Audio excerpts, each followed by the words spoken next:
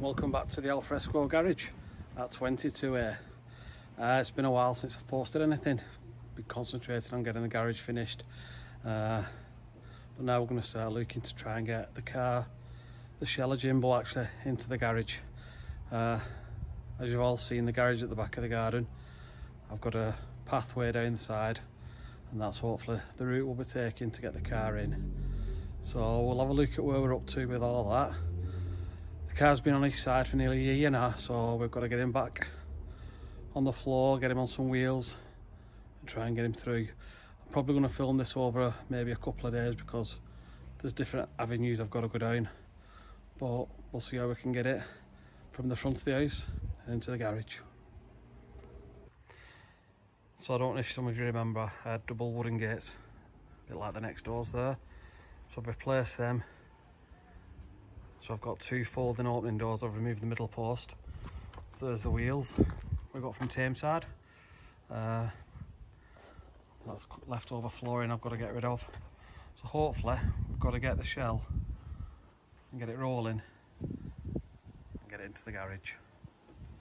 Uh, as you can see it's not level, there's four different levels so it's going to be a task on its own. Uh, got to get the bins out the way there it is, covered up. So as you can see, got to get him on some wheels and get him rolled down the side and then get him into the garage.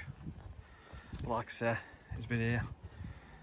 It's been covered up for the last year. The covers have gone everywhere in the weather. So it's going to be a case, I think, this of getting the shell into the garage, having a look at it, and there might be other bits we've got to redo I think it's going to be like starting a fresh sort of thing. Uh, but let's get him uncovered, get the bins moved, try and get him on some wheels. So as we can see, starting moving him away from the wall. Got him uncovered. Get ready to flip him onto the board on the wheels. And hopefully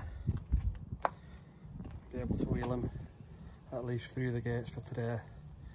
If I can get him just through the gates and the gates back locked up today, that will be amazing. He suffered pretty badly through the winter, so I'll get all that dried and cleaned out. As I say, I think it's going to be a, a kind of a second start really. Assess what we've done, where we're up to, and then we'll replace what's needed. So the next job is to get the board under, get him set on the board.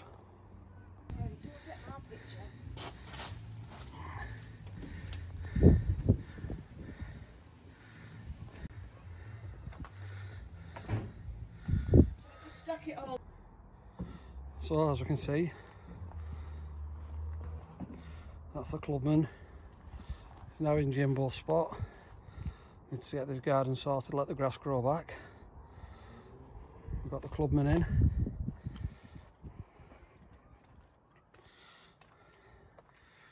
And as we can see, Jimbo's on his way home. Got him to the end now, just need to get him up the little ramp tomorrow and into the garage. As we can see, come round the back now. He's ready to go in. Uh, where he's been sat on his side for a year. He's not deteriorated too much. We can get that cleaned up, but I'm going to have this side tight against the wall once it's in the garage. Now I'm going to get this post out and hopefully tomorrow, the last lap, get him into the garage. But as I say, this side's not deteriorated too much while he's been on his side for over a year. And then we got a bit of a casualty. We lost the valance. but we didn't lose it, we just twisted it, so that'll come off and I'll put a new valance on. Uh, yeah. Anyway, get this post off, get him in, and then we'll finish this video off. You'll have to excuse the ever breathing. We just sawed the post out you can't really tell there but try and zoom in. That's where the valance is twisted but like I say that'll be easy enough to replace if I can't get it back out. We'll have a look at that. So he's all ready now. So post gone gaps open the garage is waiting for him. Well guys the day has come. I saw him a bit out of breath. But here he is in his new home for the foreseeable. I've got him tucked up tight at the front. Gives me room to access him at the back sorry I've put a lighting in here. Not sorted the lights out yet but I just wanted to get him in. Out the weather. Once this all gets sorted I've plenty of room to work around him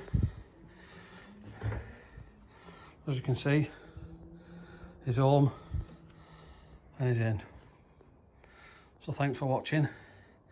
As I say it's going to be a start part two. We'll go through it all again.